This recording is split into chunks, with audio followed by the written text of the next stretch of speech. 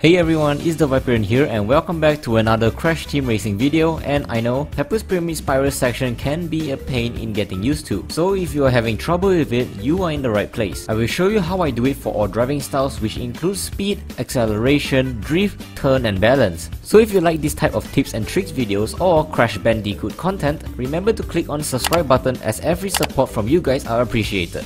And the comment, or should I say comments of the day from my previous video goes to Marco BB and the ASE 2096. And I really think this is actually really important. I want to put this out there that yes, even if you haven't beaten N.Tropy, Oxide or Emperor Velo yet, you can still use my developer time trial guides for it. And hey, does that mean that you are a noob? Of course not. Every victory comes with experience and practice, because you know what they say, you can't plant a tree without placing the seeds first. Again, congratulations to you too and thank you for commenting on my last video. So the context of the video will be as follows. I will first show you my methods for all driving styles for the spiral section, and then I'll give my personal opinion on which driving style I find the best for Papu's Pyramid. And hey, if you want to take a guess, comment down below right now and see if you guessed it right.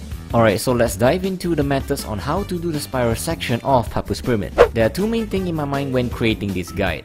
First of which is for you to be able to grab that turbo pad here at the end of the spiral. Because not only do I want to help you pass the spiral section with ease, but also help you to get that Sacred Fire so that you can maintain it for the rest of the race. And secondly, of course, the method that I'm about to show you will allow you to build up enough reserves so that you won't immediately lose that Sacred Fire at the end of the spiral. And with that out of the way, let's start off with the speed engine first. So the speed engine, because of how easy it is to drift in a straight line with it, this is probably one of the easiest driving style to use here. Start off by taking a jump here, and right after you land, drift boost twice to the left side, and try to get at least one perfect drift from this. Right at the first corner, your second boost should already be done. What you want to do now is to jump, boost, jump, boost.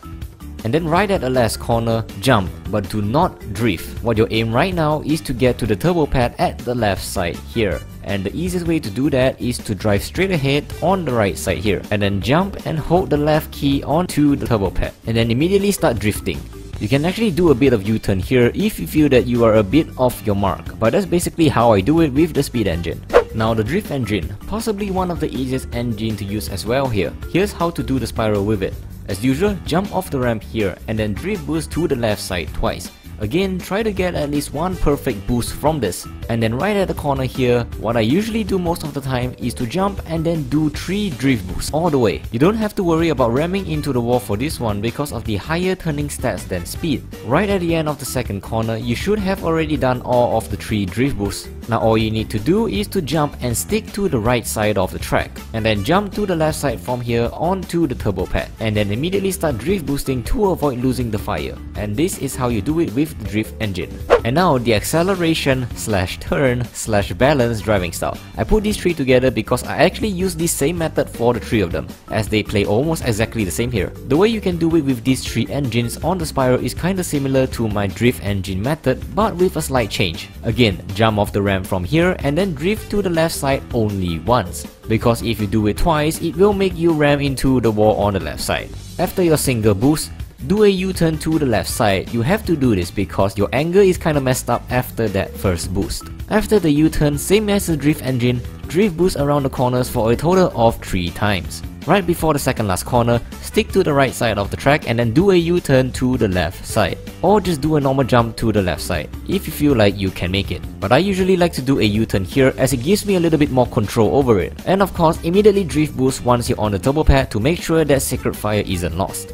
And that's pretty much about it. If you ask me which driving style I prefer in Papu's Pyramid, regulars on the channel will probably know that it is the drift engine. It is the engine that I beat the developer time trials with, and if I'm having trouble with Papu's Pyramid, the drift engine is usually my go-to savior. But hey, enough about me, what about you? What do you think about these methods? Does it help you out? Do you have your own way of doing the spiral section of Papu's Pyramid?